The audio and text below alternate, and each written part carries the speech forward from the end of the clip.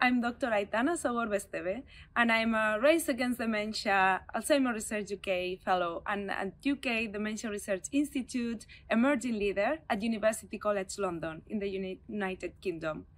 Um, and I have been awarded the Junior Faculty Award at ADPD 2023 uh, International Research Conference for my work uh, focused on a proteomic study in genetic frontotemporal dementia.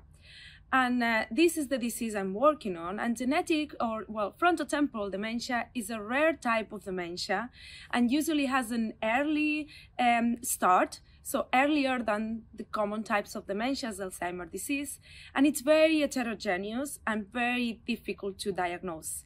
And that's why we still need good tools to help the clinicians diagnose this disorder and to help develop treatments for it. My work focuses on uh, finding these tools that will help in the future.